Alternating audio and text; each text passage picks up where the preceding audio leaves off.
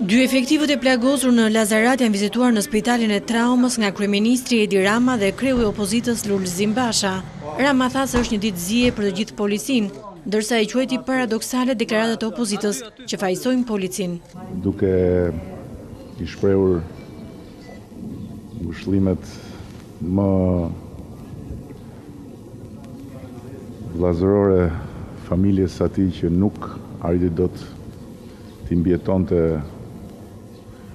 kësaj barbarie dhe duke shprehur në të njëjtën kohë edhe sigurinë e mjekëve që Dy të tjerët janë plotësisht jashtë rrezikut.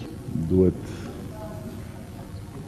të ndjehen vërtet keq ata që për faqen e tyre të zezë edhe në këtë moment që policia është në fushën e betejës me një grup vrasësh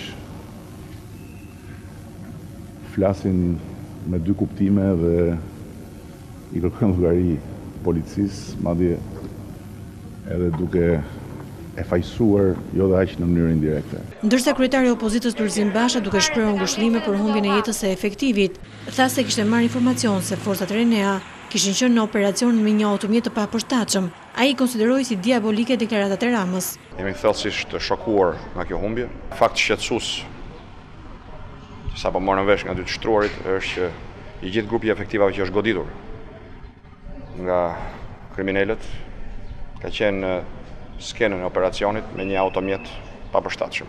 Shpreh keqardhjen e thellë që me një qëndrim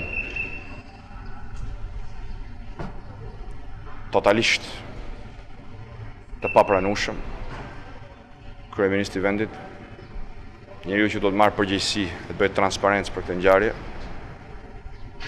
gjeti rastin ta përdorë këtu te dera e spitalit për politikë e për të sulmuar opozitën në një frymë. Basha tha se opozita do të kërkojë transparencë për ngjarjen.